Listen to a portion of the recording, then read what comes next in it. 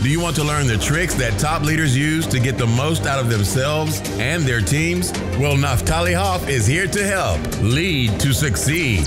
Picks the brains of top leaders to learn about their challenges, insights, and best practices. Here's Naphtali. Hello, Lead to Succeed Nation. It's Naphtali Hoff, and welcome to Lead to Succeed, episode 44. Today, I have the pleasure with speaking with John Corcoran. John is an attorney and a former Clinton White House writer and speechwriter to the governor of California. Throughout his career, he has worked in Hollywood, the heart of Silicon Valley, and owned his own boutique law firm in the San Francisco Bay Area, working with small business owners and entrepreneurs.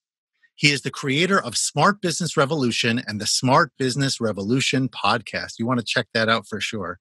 He's a co founder of Rise25 LLC, an education and training company which holds in person and virtual trainings for e commerce entrepreneurs and professional service business owners. And I must tell you, I have seen John in a variety of different ways, got to connect with him. His stuff is great. You definitely want to check him out. We'll have plenty of opportunity to learn more about him as we talk. John, thanks so much for being on the show today. Naphtali, thanks for having me. It's my pleasure. So I, am I'm really interested in a lot of your bio, but I want to start with where we where we kind of got started, which was your profession as a lawyer. But I, as I just mentioned before, know you as a networking guru, as a marketing expert, as somebody who's really leveraged your connections, your ability to um, really get to know people and use those relationships to build your business and help them build theirs as well. So, so talk me through the process. You know, in my own little world, my background is in education. So I was a teacher and a school leader before I became a coach. To me, it's not such a jump from one to the other. I think I've used a lot of the skills in both industries. Sure. But the big jump for me was all the back end stuff getting the website up, getting my social yeah. media going. I was really not a social media user whatsoever. Um, yeah, you don't really need it when you're a teacher. Right, exactly. yeah. Um, and, I, and my email list didn't really exist, and, and on and on and on. Now, thankfully, yeah. I had writing skills, and I'd been writing and contributing articles for years. I had presentation skills, and I had done professional development for many years. And that's what I use sort of as my foundation moving forward. But I still realized that as I became, and I'm still learning this, as I want to do online courses whatever I want to do, that yeah. you're constantly learning new skills, or you have to, mm-hmm. especially for somebody like myself, and I think somebody like you as well. So, talk us yeah. through the the skill building process, if you will. How did you move from law which you still do and still practice but you know most people would think that that's not necessarily a networking field per se. You may need to network yeah. here and there, but it's not. You you don't necessarily need to become um, an expert. I mean, I might be wrong on this, but many people might yeah. think that way. How does someone like you pivot in such a seemingly dramatic way to become such an expert in other spaces? Yeah, so it, it was a gradual process. So it, it definitely wasn't overnight. Um, it, it, took a while, longer than I expected it, it to to. And um, you know, as far as you know, you asked about what uh, you know, educating yourself and and and learning about all the different tools and technologies, and you can definitely overdo it. I see a lot of people do that. They spend a lot of time and money on education, going to conferences, buying courses, things like that, and not as much action taking. So you have to definitely balance those two between education. I'm a big believer in just just in time education. Like you don't necessarily need to learn everything. You could it's in the entrepreneurial world, you can spend forever learning about what does a $10 million business need to know to go to $100 million. And that might be interesting to you. But if you're way below that you don't need to know it yet so what are you doing? You know don't waste your time with that be focusing on getting the next client or whatever it is. So you know for me with the transition from law to to other things and by the way kudos to you for asking about my role as a lawyer first. I never get asked about that oh, really? that's like the most boring thing i've done. Uh-huh. no usually people aren't even interested in that so that's cool that you asked about it.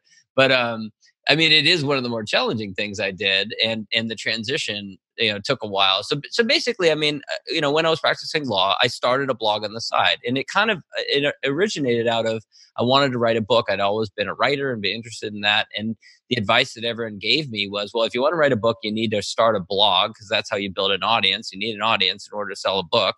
So I did that and I started the blog and I realized it was a lot harder to get an audience behind a blog. So I really just went down the rabbit hole like, well, how do you build an audience behind a blog? And you need to build an email list, right? Well, how do you build an email list?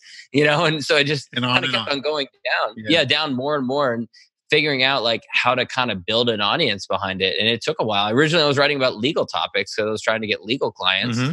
And I realized that was really boring and no one stuck around. They would read something and then keep going. So then I pivoted to writing about entrepreneurial topics. That was still too broad. And then I got advice from other people who basically it was, you know, it took, came from other people saying like, John, you're really good at connecting with people and networking. And, you know, they kind of connected the dots for me. They're like, you know, throughout your career, you've done this, you know, you, I went from like, I got a BA in English at a party school to like a year later, I'm writing the president's words at the White House. That's pretty unusual. Yes. I was not the smartest. I didn't go to an Ivy League school or anything like that. You know, it was all about connections that got me there and, and each of my different roles. And so that's what I started writing about. And when I started focusing on that particular niche, that's when things really kind of took off for me. Yeah, and it's interesting because I I would love if we had more time. I'd love to unpack how you got to work with President Clinton and the governor of California yeah. and all of that. But I think I'm going to. let me tell you the story because it's a relevant story about how I got the White House job. So, first of all, during college, I did an internship program. You know, a lot of colleges have internship programs in Washington, D.C. So I did that. And I just went straight and I applied to different internships. So you go to D.C. for a semester basically and you you study uh, you work most of the time and you get credit academic credit for it and so i worked at the white house and i was in the speechwriting office this was a fall in 1997 it was before we even knew who monica lewinsky was because it was right before that uh-huh. happened um, and and I was there for uh, you know a semester, and I just worked my butt off and tried to make the best impression possible. Uh, I get back to college January 1998, and immediately flashing news: uh-huh. Lewinsky scandal starts and i have you know msnbc and i have you know new york times and washington post and all these reporters calling and leaving. You know i'd come home from the class and my roommates would be like you've got a message from the new york times washington wow. you know like all these different things. So it was crazy. And so anyways, I, I graduated from college. I actually go and work in the entertainment industry for a little bit. I'm working for DreamWorks and some other uh, roles. Uh, but at the same time, I wanted to come back to Washington, D.C. So I kept in touch with the uh, speechwriters. I wanted to get a writing job because I liked writing. And I, I would deliver value to them. So it wasn't like it wasn't like I was calling or emailing them regularly and saying, "Hey, is there a job? Is there a job?" Because they don't exactly advertise these positions on Craigslist, mm-hmm, you know. Mm-hmm. Um, I, I, would just like send them quotes and articles and things like that that I thought would be helpful to the speechwriters. And because I delivered value like that, because I kept in touch, because I followed up with them, when an opportunity came along, one of them ended up telling me about it. The other funny story about it is I get uh, the heads up that uh, from one of the other speechwriters that there's this position. He tells me that the person who's hiring for it is probably going to be giving me a call couple of days later, they give me a call and they say, Hey, just introduces herself. This is who became my boss, the woman who became my boss. And it tells me about it, says she wants to get my resume, writing sample, stuff like that. And I said, Okay, great. I'm happy to send that stuff. And by the way, if you'd like a writing sample, if you open up today's New York Times, New York Times to the opinion page, I have a letter to the editor that's on that page today. It was a little bit of a coincidence but I knew that she might be calling and I'd sent in a letter to the editor. It just happened to hit on that particular day. Nice. If she called me like the next day, it probably would have been like, you know, a, a letter in the Akron Daily Herald or something like uh-huh. that that I had published on that day. You know, but New York Times happened to hit. So the point behind that is you can often position yourself for success if you know there might be an opportunity by planning in advance. Yeah, that's great. I actually had a conversation this week where somebody who I'd done work in the past told me that there wasn't anything that he needed from me at the moment but I still wanted to stay in touch. Gave him a call. We're having conversation. It ends very pleasant. Shortly afterwards, he calls me back, maybe the next day, and he says, "Oh, you're top of mind. I have something. I really want to talk about this." And we had that conversation. So, you know, just being current, staying in, t- in touch with people, like you said, adding value. I think all yeah. of these are, are really good, regardless of yeah. whatever industry it is, because at the end of the day, we do business with who we like. We do business exactly. with people we trust. So yeah. if I like you and I trust you, that I feel that you, and frankly, I will do business with you if I like you, even if I don't trust you as much as maybe somebody else who's a little bit better or maybe even a lot better if the relationship is strong and I have a reason that I want to support you or bring you in or whatever that looks like. So keeping totally. top of mind, yeah. keeping adding the value I think is critical and those are great. Uh, that's a big lesson I learned from working in politics early in my career is the importance of those relationships. And you know, if you flash forward from the White House, I ended up going and becoming a speechwriter for the gov- governor of California at the time. His name was Gray Davis, and um, at the time he was an up and coming governor. People were talking about maybe running for president one day. Um, it ended up ending rather spectacularly when Arnold Schwarzenegger decided to hop into the recall uh-huh. election in 2003. And so we suffered, you know, I lost my job. It was my own personal dot com failure, so to speak. And um, I was out of a job. But for, you know, I had a number of colleagues who, uh, they went like six months or more without a job because they just hadn't, you know, built the right relationships, maintained the right relationships. And I feel very fortunate that I basically walked into another job. I had another job opportunity right after that you know really devastating experience. Yeah, it's so it's so important that you mentioned that. I don't mean to cut you off, but if I may for a second, um, yeah, I, I think that oftentimes and, and I, I struggle with this a lot a lot of coaches do a lot of other uh, um, service professionals you know we get a gig you know we get work whatever it might look like and then we just jump in and we want to do the work but we have to constantly be mindful of how do i continue to make myself relevant to people down the road because forgetting yeah. even service providers even if you have a regular position where you're 9 to 5 or 8 to 10 whatever that might look like for you right. you know there's no guarantee that you're going to be in that position long term and where you're going to turn if you need to look for something different. But if you stay current and relevant that entire time with people, like you said, and you experience, you're much, it's much easier for you, I would think, for you to find something on the back end than if you just been sort of irrelevant and all of a sudden now you need to start looking again. It's one of the challenges, right? You know, you get busy with client work and you still have to do marketing and networking to keep your your voice out there, and keep top of mind with other people or else as you said when that work ends then you're going to be stuck looking for something you know we've probably all gotten emails from people i know i have uh, every couple years uh, there's some people that i get emails from it's like hey how you doing haven't heard from you in a while so um I lost my job and I'm looking for a job and you feel a little bad for them, but I'm also kind of like, where you been? Right. Like you're asking me to do something. You're asking me to like go find you a job now and you haven't remained in touch with me at all. You don't care about me. You only care about me when you're in a, in a pickle, you know? Yeah. And so you, you, it's really ne- necessary to do that. It's actually one of the reasons that I really like what we're doing right now, which is podcasting, which yeah. is doing interviews. Mm-hmm. It's a tremendous way to build relationships with people and to create content, which you can then share across social media, which then allows you to remain top of mind which all the, with all the people that you're connected with on social media that's exactly right and if you know just in full disclosure one of the reasons that i do this and one of the reasons that i love to get great people like you on the show is because i want for me it's one of my trojan horses if you will it's like i want to have a it great conversation be. but i also want to you know the, people yeah. people who are busy and successful which are the people i target for the podcast they're not yes. going to respond to me if they don't know who i am in most cases no. you know i'm like a regular email it's a cold call it's that kind of thing but if i come in and i say i've got a podcast I've got a platform. Yeah. It's a great way to get to know you, but get to know you in a way that adds immediate value to you, not just what's good for me, but what's good for us because yeah. I get to know you, you get to know me, but you also get to have your message resonate to a broader audience. And maybe you don't have the nor you have the platform, but many right. people don't. Yeah, so excited for so, that. Yeah. Yeah, so this is actually something that um, it's not f- fully apparent on our Rise Smartify website, but this is actually something that we do for clients is actually setting up and maintaining podcasts for people. And the reason we got into that was because my business partner and I, we've been podcasting for 15 years between the two of us. And for a number of years now, we've done live events and we've done coaching and we helped individuals. And it really boiled down to, especially over the last couple years, we were like, you know what? You really need to start a podcast. That just became our advice over and over again. It kind of became a joke, you yeah. know? People would ask questions like, how do I connect with this person? How do I get more referrals? How do I get more leads? How do I blah, blah, blah? And we ultimately were like, you need to start a podcast. But there are certain objections that people have and so ultimately, we started just doing it for people to remove the excuse. We were like, here, use our team. We have a team that can do it. But, you, you know, and what's other, well, the other thing that's smart about what you said is that you have a business backing it up. So the uh, some people when they do podcasts, they it's not connected to their business. They're not new they're not deliberate about it. They're interviewing a bunch of people that aren't potential clients for them which i think is a mistake.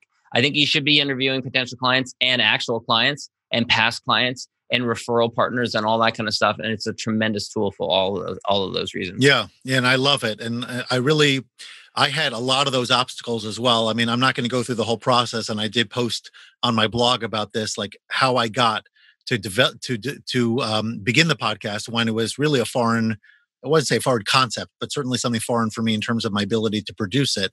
And I started actually when I wrote my book, Becoming the New Boss. I started guesting on other people's podcasts to put the yeah. word out there.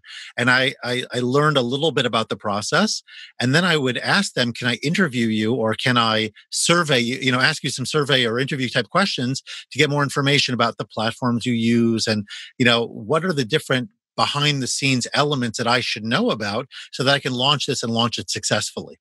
And so, in many cases, it's just a matter of who's doing something really well already and how do I tap into their experiences and their success? You know, there's a, a joke, a, a, so it's a story, but it leads to a joke that I often tell about a, um, a, a, newspaper writer and he comes to a, a, successful banker and he says, Sir, you've been super successful over the years. How have you accomplished everything?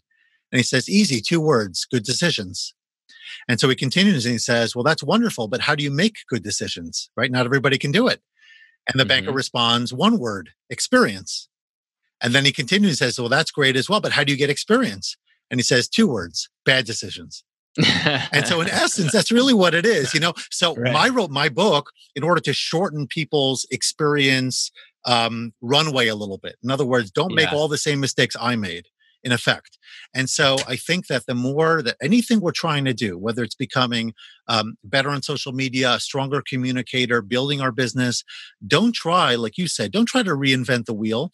Go with what already has been working for people. Find a mentor, find people you could turn to and, and tap into their experience and their insight, and then learn from them.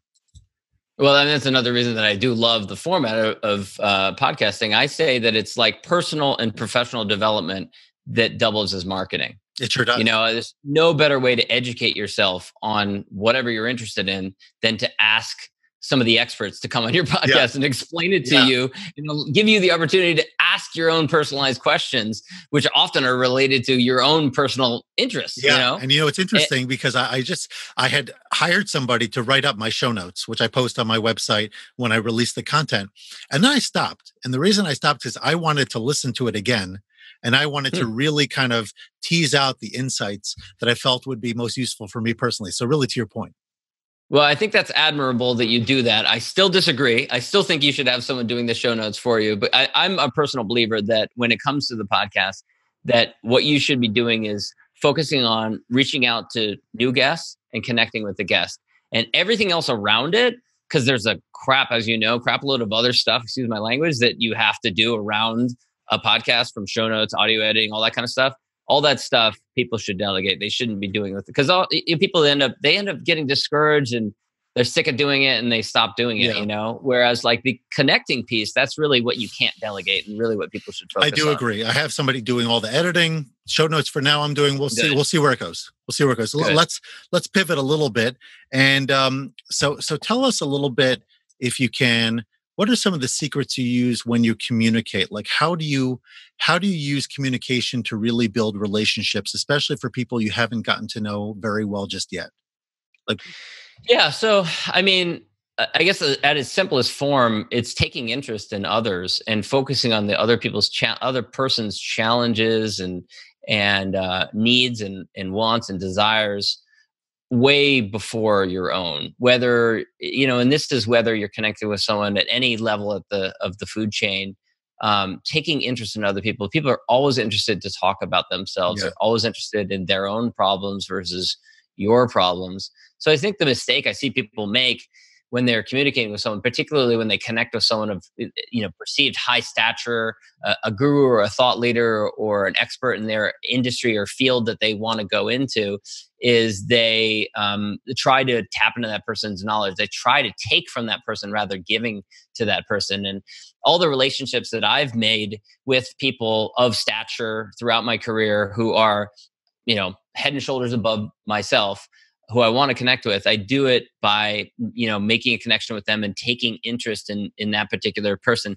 And this works at every particular level. The, the story that I've told a number of times about working at the White House. So I, am when I was leaving the White House at the end of the near the end of the administration, when I'm leaving to go back to California to become a speechwriter for the governor of California. Um, at the time, one of the things that they did is they would invite VIPs and departing staff and members of Congress and governors and and movie stars and stuff to come down to the Oval Office on I think it was Saturday morning, and the president would record the the radio address, which had been done all the way back to Franklin Delano Roosevelt, and it was in the Oval Office. And then afterwards, you get a picture really quickly with with the president standing in front of the desk, and um, so it was a really cool opportunity. My family flies out to do this. There's only about 50 people there, and we bring with us a, uh, a, a gift right? Because I've been given a tip if you bring a gift, you're more likely to have more of a conversation with the president rather than just a quick picture. And so he was collecting DVDs for old Western movies at the time. And so we got a couple old Westerns we brought them with us. We go down there, he does the radio address, starts doing photos, we gets up to us, we hand him over, and boom, we end up having like a long conversation with him about old Western movies. My dad used to be a film critic, so he could talk with anyone about this stuff and just a normal human conversation just so happens that we are in the middle of the heart of power in the middle of the oval office of the free world right? And the reason i say that is because oftentimes people struggle. They think like oh there's some big potential client referral partner leader in my industry whatever. What do i possibly talk with that person well, you know what? Take interest in their interests. Find out what they are interested in. And if you wonder how to possibly know what they are interested in, today it's easier than it ever was because we have this thing called the interwebs and social media and LinkedIn and Facebook and you name it, Twitter, all kinds of research opportunities at your fingertips. Take a little time to learn about the person that you're, you know, interested in connecting with and then ask them about that. There's probably something that you are also interested in. Find that thing. It's a great point of connection. That's awesome. Yeah, I like that. The the value piece is critical and like you said, there's no excuse today in particular to not have something additional or special to be able to roll out that lets that person know, hey, this person has gotten to know me a little bit. They care about me. They care about my interests. And the value add right. is, is tremendous. So it's kind of interesting because, you know, I go to networking events, not all the time, uh, but I do go when I can. And, you know, part of me feels like there are days when I go and it just feels like I didn't really accomplish all that much. And then mm-hmm. there are mm-hmm. times where I feel like, you know, I got a lot more out of it. You know, recently I went to one, a friend of mine was running it. He kind of tapped me for some group conversation at a particular point. So I had more of a role than I typically would have in one of these kinds of events. Um, but how does a person know ultimately if they're networking is making a difference like like how do you start to measure that you're gaining some traction whether it's online and with your with your blog with your email with your social media all of that obviously you could look at numbers and views but sometimes those could be misleading. So how do you know what the strategies are that are working for you not working for you? Take us a little bit behind the curtain. Well, ultimately, you have to have some clear end objective in mind, and in in most instances, I think what we're talking about here is someone who's trying to acquire clients, or more referrals, or more users if they have like a software or something like that. So that's your ultimate goal. You have to be clear on that. Sometimes people are not clear on that. Sometimes they don't have a clear offering and they need to get clear on on that point. But the other thing that I would point out often whether we're networking in person, face to face at an event or a conference or something like that, or an organization, or we're doing it online in a group or a community or a forum or something like that. First question you have to ask yourself is Am I even in the right room? Because oftentimes people are trying to squeeze blood from a turnip.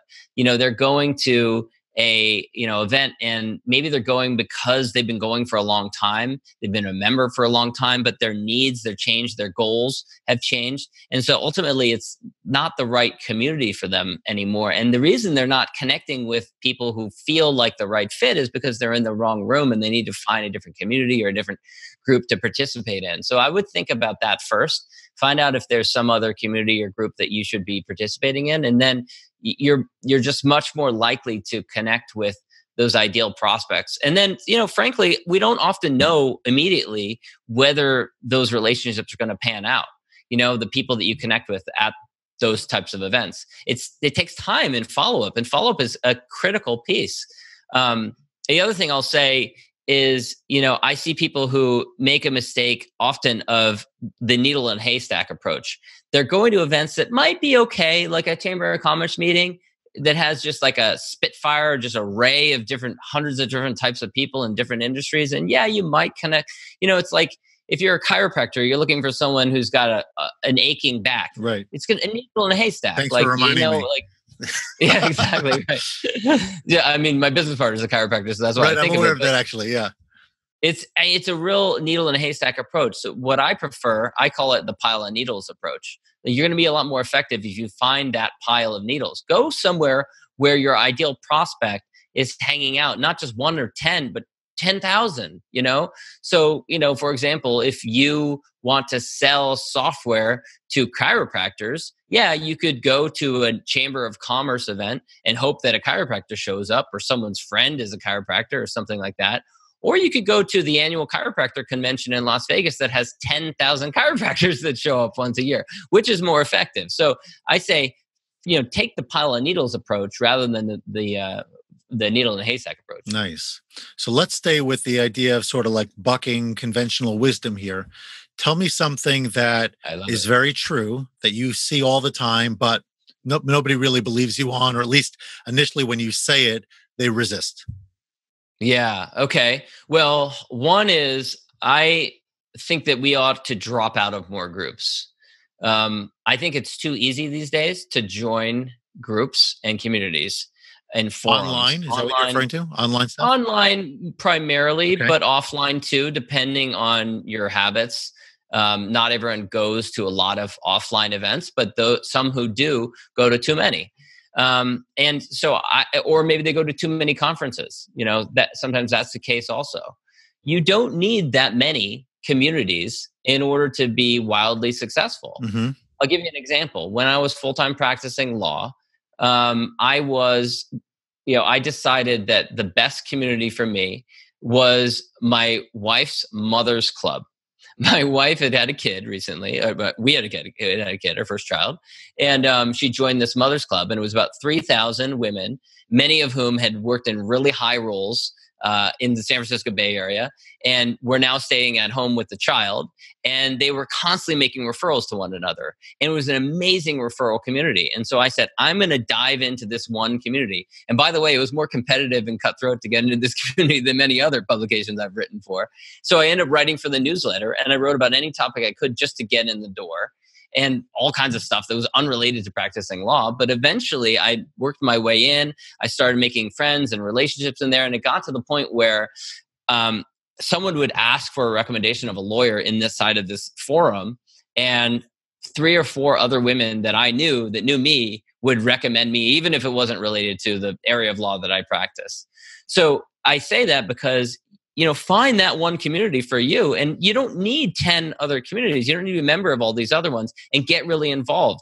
You know join the board or help organize an event or write for their newsletter. Do something like that. Stand out and it'll really make a big big difference. Another thing that I did when I started practicing law and I was had my own firm and I was only a couple years out of school and I was here in the local community here and I would go to uh, and I started writing for the local bar association newsletter and it really helped me stand out. And I remember going to some uh, gatherings where there were these attorneys who I looked up to who had 25 years of experience, 30 years of experience, had really big law firms, a bunch of people working for them and stuff.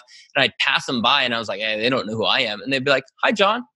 And they knew me because they'd seen my writing, Right. they'd written, you know, so it really helped to stand out in those communities. And again, you don't need 10 communities, you need one or two, you know, that's really what you should interesting. yeah, I mean, Yeah. talking about writing is a great way to get exposure. And going back very briefly to something you said earlier, you talked about using a blog to promote your book. I actually created my book out of my blog because I was writing Great. leadership content regularly, and eventually I found a common thread that I'd be able to utilize, and then you know fill in the gaps wherever they were and create the book around it. So it's Yep. a nice way to do that. And yeah i mean I'm, it's a great way to you know to to develop some of your thought leadership and your your different ideas Yeah, and you could repurpose it in a variety of different ways, which I continue to do, even though Yeah. the original post was written a number of years ago.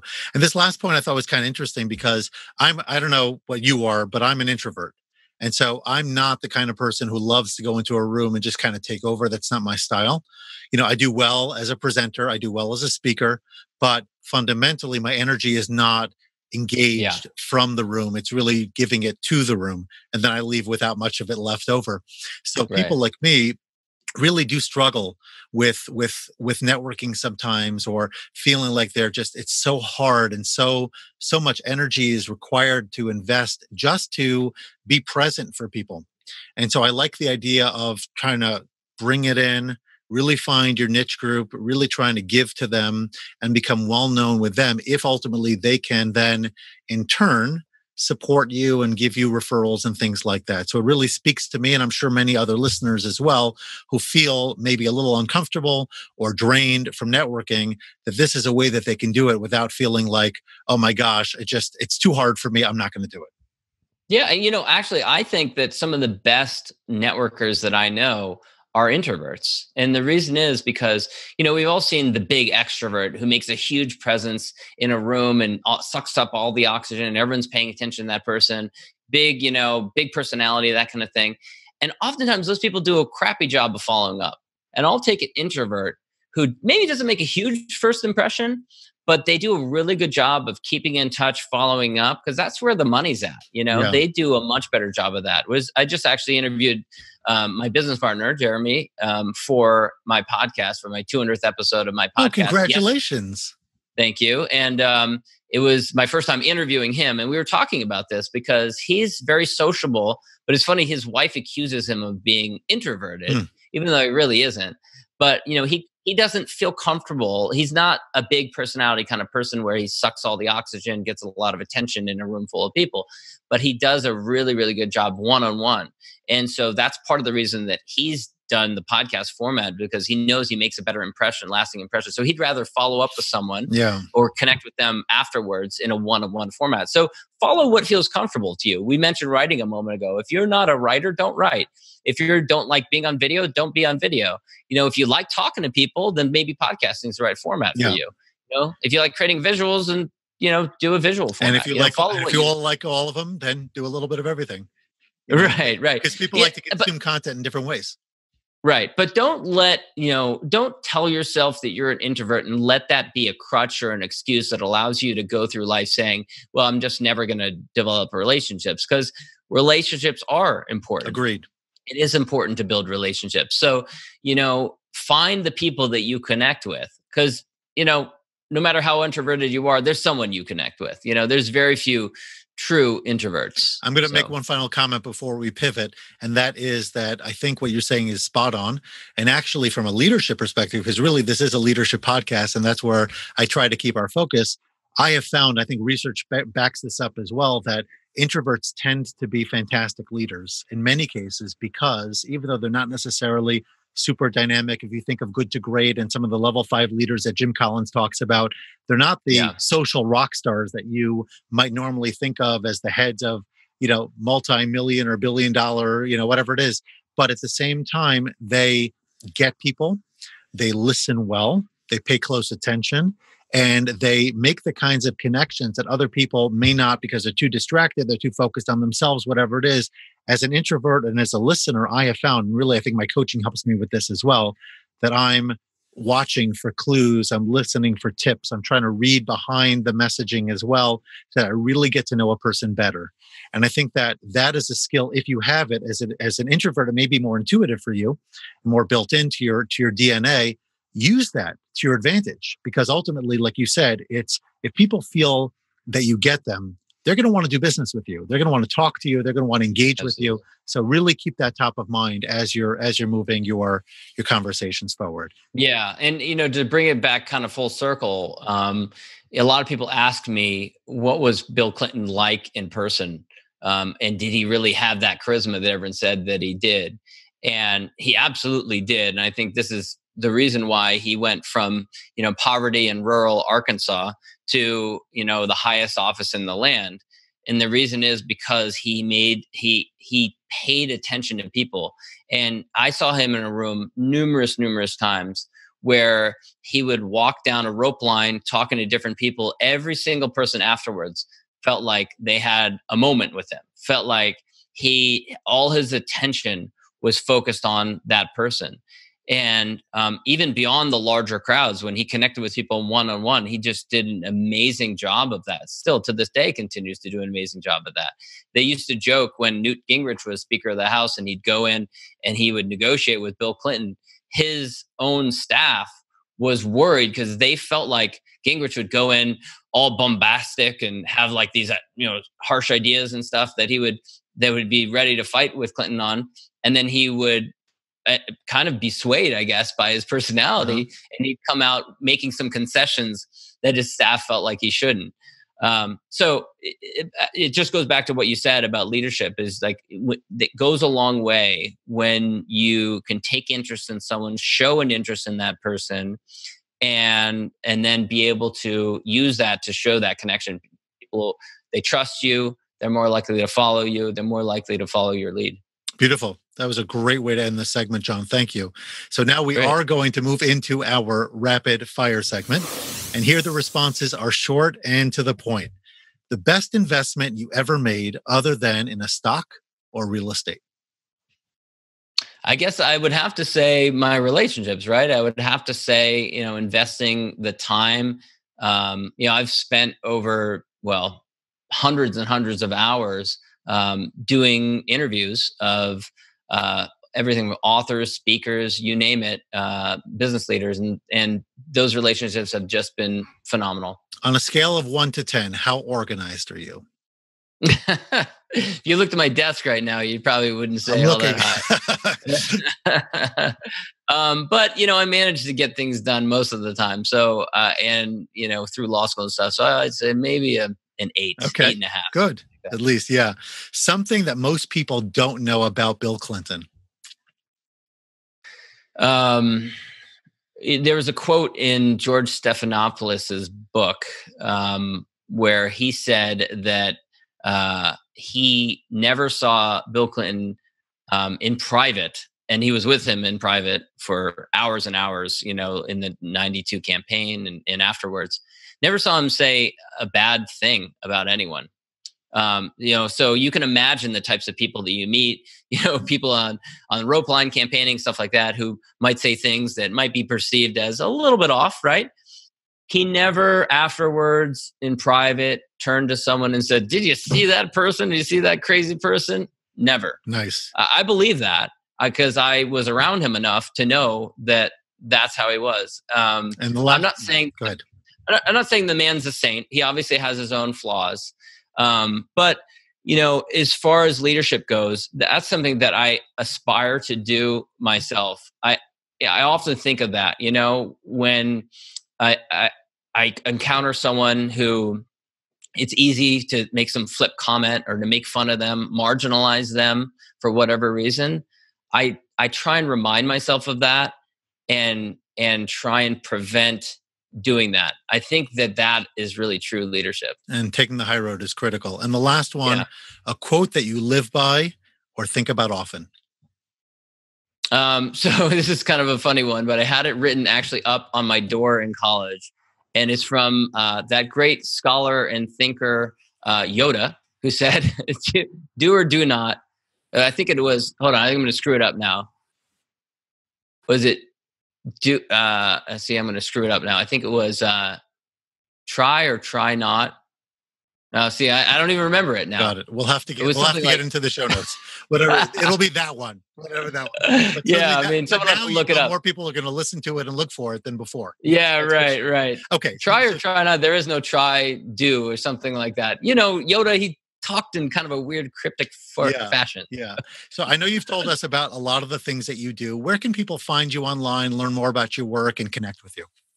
Well, after I botched that Yoda quote, I don't think they're going to be interested. But uh, Smart Business Revolution is my blog and podcast. You can check it out on iTunes or Stitcher. Um, and uh, Rise25 is the website for my business with Jeremy Weisz. Fantastic. So before we let you go, one last life lesson, leadership lesson that you could share with us, John, after a fantastic and engaging conversation today? Um, so be proactive. Don't allow life to happen to you and don't expect those critical relationships, the mentors, the peers, the friends to come. Don't wait for them to come knocking on your door. Go out there and proactively develop those relationships, whether it's using something like a podcast, which is a tremendous tool, or by joining those communities and those organizations where you're going to connect with those people. Go out there and do it. Great. Now's the time. It's interesting because oftentimes that was a great lesson, but sometimes when I have a guest, I, I don't know them so well, at least at that point. So I can't determine if they're really living by the lesson that they share but it's clear in your case that that is true because you live this this is what you do making those connections and i would agree being proactive is the way to go. Thank you so yeah. very much for joining me today for this conversation on lead to succeed. It's really really been a pleasure and looking forward to getting to know you better over time. My pleasure. Yeah thank you. All the best now Thanks so much for listening to this episode and for investing in yourself so that you can lead to succeed. Before you go, don't forget to subscribe, rate, and review the show. Your feedback gives the show more social proof and encourages more folks to listen.